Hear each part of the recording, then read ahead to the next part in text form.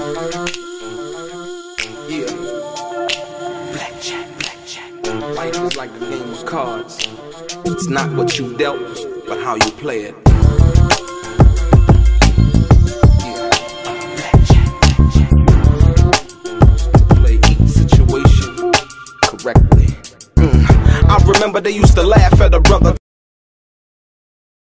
Straight game. Today, Governor Beshear of Kentucky actually, uh, in a press conference, accused a guy by the name of Tupac Shakur, aka Malik, of committing uh, unemployment insurance fraud.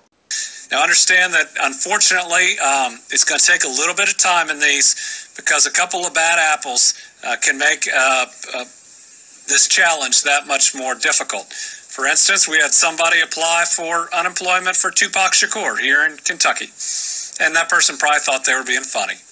They probably did, except for the fact that because of them, we've got to go through so many other claims that one person thinking that they were funny, using somebody else's identity, is going to make tens of thousands potentially of other people wait.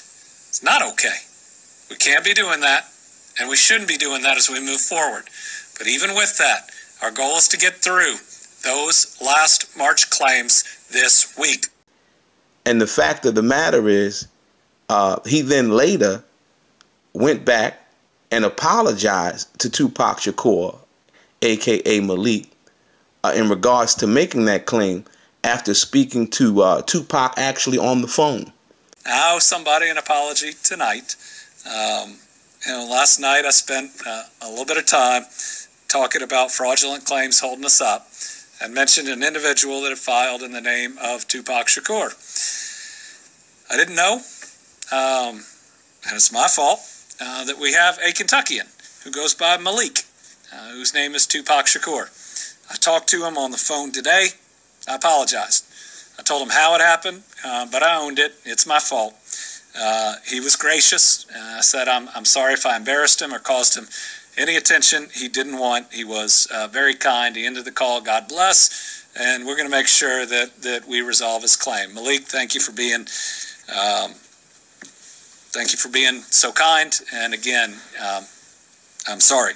And uh, so I guess a lot of people um, with these alleged uh, sightings of Tupac, uh, Tupac is in Kentucky, going by uh, the alias of Malik, if you will joke. Um, but yeah, yeah, it's funny that um, like I said today in Kentucky, uh, Governor Beshear uh, makes an allegation of fraud and unemployment insurance fraud, um, and then turns around and actually apologizes uh, to the guy by the name of Tupac Shakur. No, it is not the Tupac Shakur uh, that you uh, know and are familiar with the late great Tupac Shakur, the one who is deceased.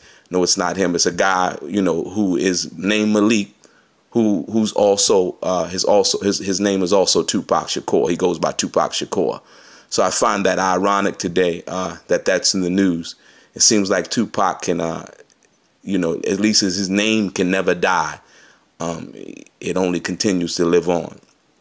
And so, like I said, the governor was really, truly, honestly embarrassed after you know, alleging that uh, this guy, Tupac Shakur, uh, had committed fraud, and he uh, abruptly uh, and and and swiftly went and apologized to the to the young man after, like I said, speaking with him on the phone and confirming that his name was actually Tupac Shakur. Uh, straight game, like I said, Tupac never dies, and his name he only lives on. And like I said, the real Tupac Shakur, uh, the death row Tupac Shakur, is yes, he is deceased. And uh, may he rest in peace. And his name live on, I guess, to other people who want to name themselves Tupac Shakur or who mother and father wants to name them Tupac Shakur. But Tupac Shakur that we know did not commit unemployment insurance fraud. That's for sure. Straight game.